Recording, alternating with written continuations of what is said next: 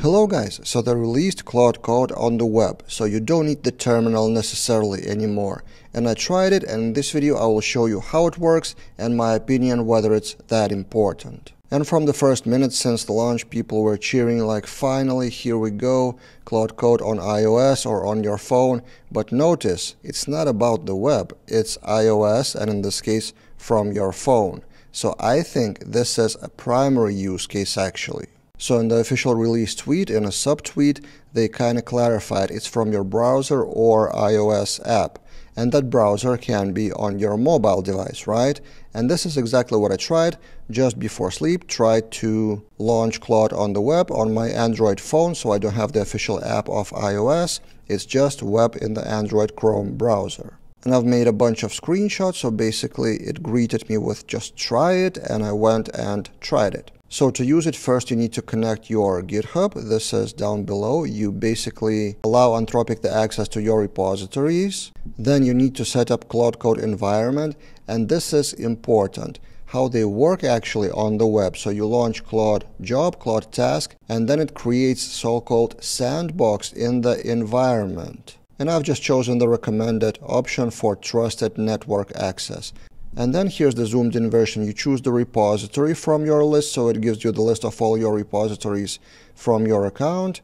And then you start prompting and launch. Nothing really too fancy here. But of course, on the web, you don't have a lot of things which you would have had in the terminal. For example, you cannot mention files or folders. I tried it, it doesn't work, and for a reason, it doesn't have the full code base indexed anywhere, so basically it's just simple prompt without too much context. And this is one of the limitations, and I will talk about them in summary a bit later. So I had to run the query without mentioning anything, just number of clients. And this was a simple query with Laravel and Filament project. Then it started working and also asked if I want to enable the notification to get notified when the task is complete.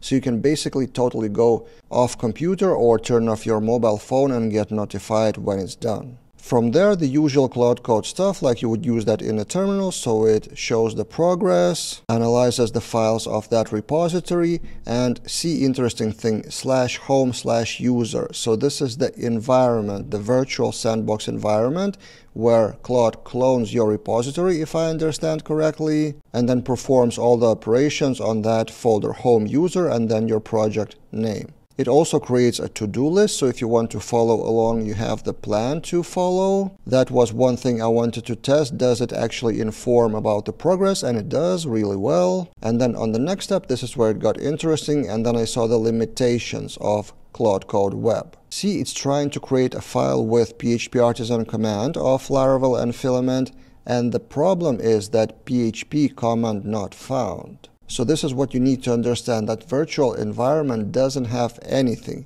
It's just as I understand Linux machine, so it doesn't even have PHP installed. But then Claude, in its own fashion, if it doesn't find something, it tries to discover. So which PHP tries to find artisan, list the files, and then the results are even worse. So vendor bin no such file or directory, docker command not found. And then as a workaround, it goes back to Linux commands of listing files and then making the directory and making the file manually. And then crosses it off to-do list. So it did the job, but as a workaround, maybe taking longer than it would have done with PHP artisan command. And the same happens with the next to-do list item. So there's test the widget and run pint and it's unable to do that because it's not in the sandbox. So it does generate the tests files, which Claude Code does often, and that's a good thing, but it cannot really execute those tests in that environment and cannot confirm that the code actually is working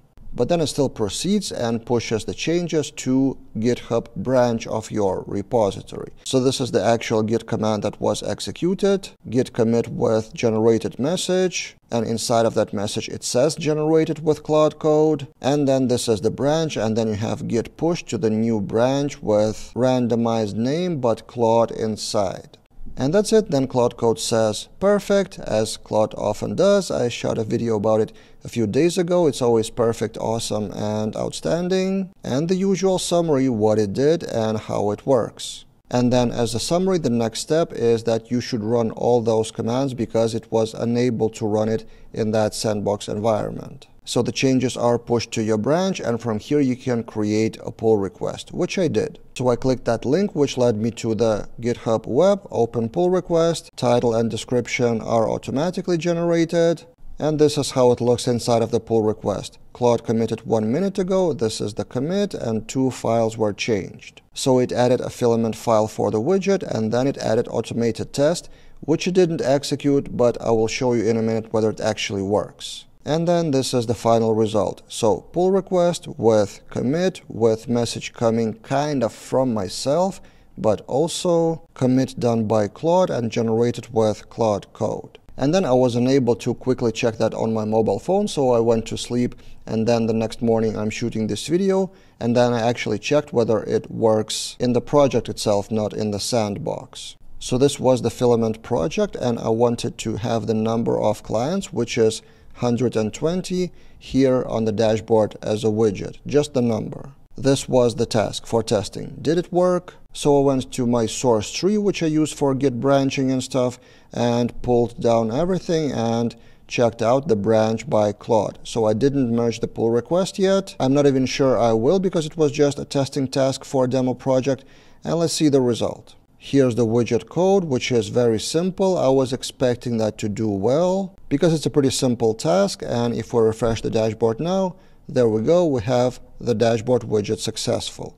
What I was curious about is automated tests. So this is the file it generated with automated tests with pest, similar to other test files probably, and then does it actually work? So if we run that in a terminal, PHP artisan test with that specific test, and we have three passed tests, all successful. So yeah, the first attempt with Claude Code Web was successfully completed and I'm fully satisfied with the results. So now, will I switch to Claude Code Web and start vibe coding instead of actually typing the code? Of course not. I will do that sometimes. And this is important in my opinion. So who and how would use that Claude Code Web? Of course, you will see tweets like this from mostly vibe coders that finally you can run AI agents 24-7 in the background on the web or on your phone, this is great. But this is not my style. This is not what this channel is about.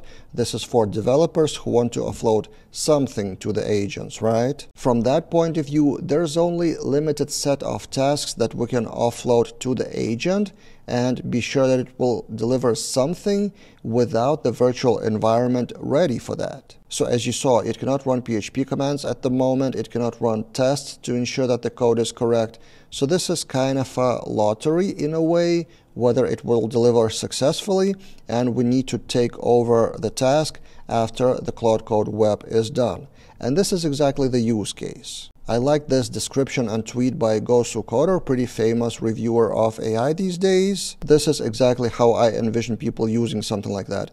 When away from the house, send off a few job when you have some idea and check when I get back. In fact, this is exactly what I did in my case. So I went on the phone and typed in the prompt. And then the next morning I went to computer, to GitHub, pulled everything down, tested and saw the code in depth. So in a way, the goal for Claude Code Web is to quickly type in the ideas, kind of like draft pull request or draft code, just to have kind of the first alpha version of that code. It's similar like you would take note to not lose some idea that comes to your mind. This is also a good practice in general in life. So yeah, instead of typing some note, you can type the prompt in Claude Code Web and it will transform it into some kind of code, probably if it's successful, which you then continue with when you get back to computer.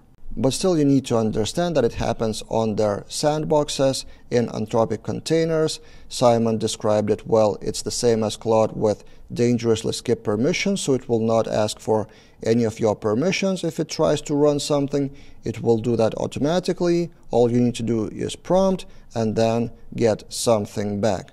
And this part becomes important. Also, Tariq from Claude Code from Anthropic talks more about sandboxing in general, how they do that. So you should probably read inside of the official announcement about Claude Code on the web.